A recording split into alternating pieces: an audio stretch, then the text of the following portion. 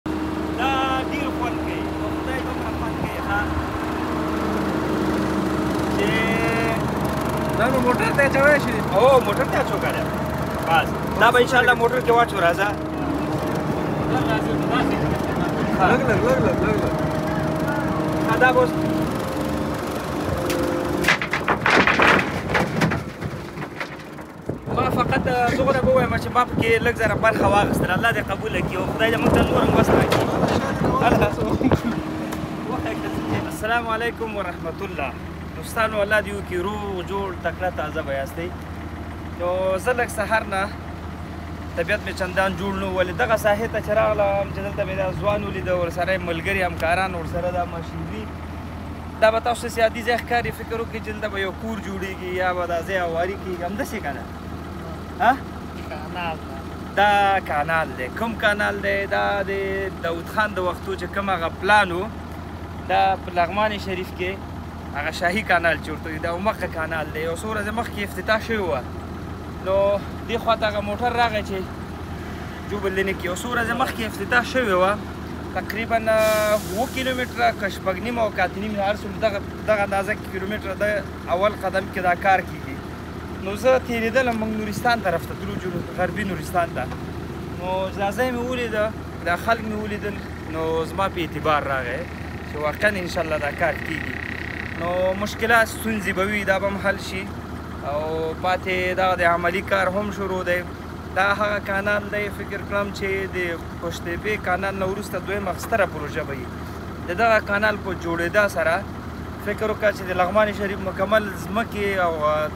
دښتې چې کوم دي دا به ټول هغه کېږي خړوبه کېږي همدارنګه تر سرخکانو پورې د دې کانال نقشه کې فکر کوم هغه د تراسه وروره انجینر صاحب ته ښه انجینر صاحب خیرت دی لږ به په زوره سره خبرې وکړو چې لږ معلومات ورکړئ د کانال په اړه ها بسم الله الرحمن الرحیم ډیره مننه له تاسو نه لا خوشحال لره عزتمن شي بس د شاهي کانال پروژې څخه لیدنه وکړه آباد اوسئ نو دا کانال خو له الینګار ولسوالۍ د صدرواله کلي څخه شروع کیږي تقریبا اول لاټې چې ده شپږ اعشاریه شپږ کیلومتره ده د صخرې ته کلي پورې راځي نو دا ټول اویا کیلومتره اوږدوالی لري او د دې هره سیده مختلف ده په ساحو کې څلور نیم متره ده په ساحو کې پنځه متره ده ارتفاع سیده درې متره ارتفاع لري نو دا له دې جنه سرچینه اخلي د سیزي د لغمان پاس سر باندې تیریږي بابا صاحب ډاکټر بابا صاحب ډاکټر بیا ځي سرخکار سرخکار پورې سرخکار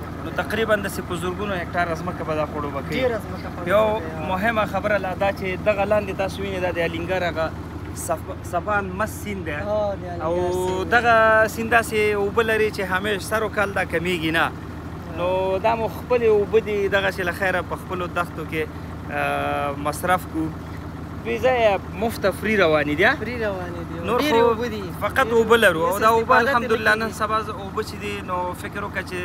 د اټومي وسلو نه وبه زموږ نن سبا ډیر قیمت لري نو کچیرته زراعت له نگاه نه دغه کومې دشتې تاسو به د بابا صاحب دشته کې د قمر بنسټ هغه ځمکې لیدلې اته سوه جریبه په زرهاو جریبه ځمکه دغسې هغلته پرته ده او ښایسته بهترینه خاوره دوه درې فصله پکې کیږي نو چې دغه ځمکې زمونږ خړوب شي مشرقي به یوازې لغمان چې کوم هغه دي ځمکې دی یوازې مشرقي څه کوي بلکې د نور ولایتو ته به انشاءالله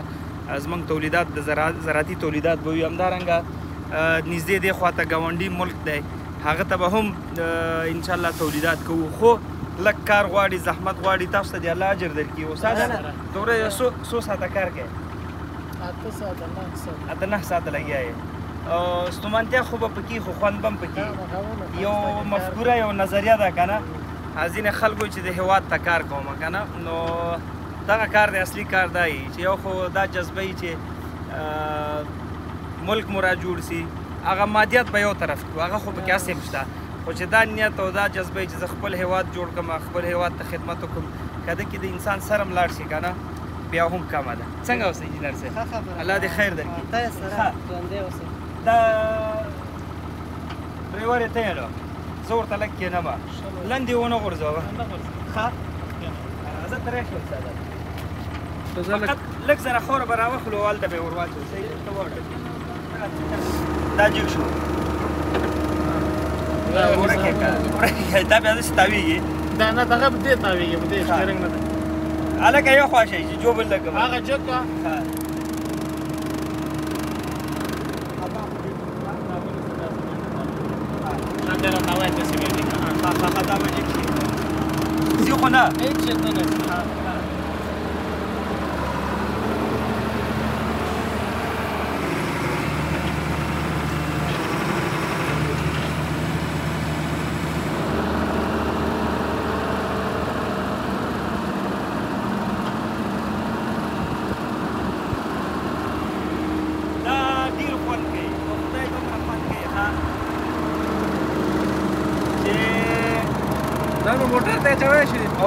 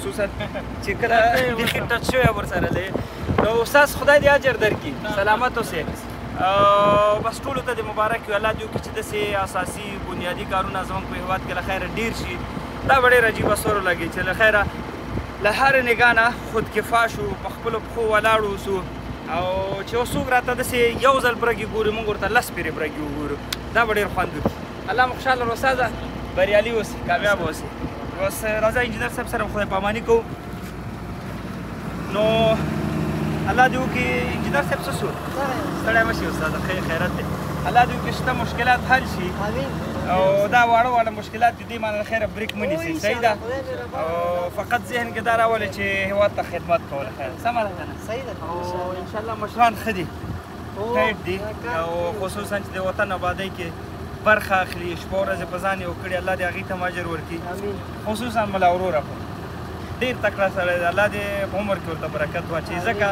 د هیواد د آبادۍ لپاره موږ وینو حالانکه مریض هم دی شپه ورځ منډې وهي آرام یې نشته بس همدغه دی چې د ولس په زړونو کې ځای لري نو تاسو ته خدای اجر درکړي سلامت اوسئ خوند به دا وکړي چې بله ورځ راځو له خیره اوبه پکې روانې السلام علیکم استاد سر د لاړو خدای پامان. سلام علیکم. دا ویډیو خو دی وکتله زه غواړم یو بله موضوع درسره هم شریکه کړم فقط یو دقه وخت دی غواړم موږ داسې یو کاریکولم جوړ کړی دی چې هغه افغانان یا هغه مسلمانان چې د نړۍ په هر ګوټ کې که په هر ملک کې په هر وخت کې موږ تاسو ته استاد در معرفي کوو په دوو میاشتو کې خپل د بچي روزنه داسې وګوره لکه ستا دې بچي ته چې موږ دوه کاله روزنه ورکړي همدا اوس په دغه واتساپ نمبر باندې را سره اړیکه کې شه ویب سایت درته هم ښکاری نو ویب سایت ته هم لاړ شو وګوره من قران کور اکیډمي جوړه کړې ده هغه ورونه چې خبر نه هغه د خبر شي خپل بچی راځي دلته موږ سره